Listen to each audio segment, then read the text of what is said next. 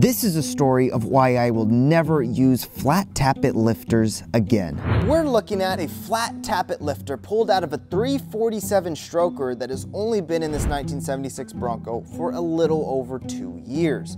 Now what some of you may realize is that this lifter has gone bad bad lifter. When a lifter goes bad, it's only a matter of time before the camshaft starts to wear down as well. So here we are with the lobed camshaft and an engine that needs to be completely pulled and cleaned professionally. I got to work pulling the engine and with a day and a half and a handful of bolts later, I had that sucker completely out.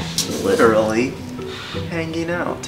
One important thing to note is this engine was one of two that had the same problem. Well, that's a huge bummer. It did spark the next upgrade for these two engines. A full roller engine from Edelbrock. Subscribe to see how this goes.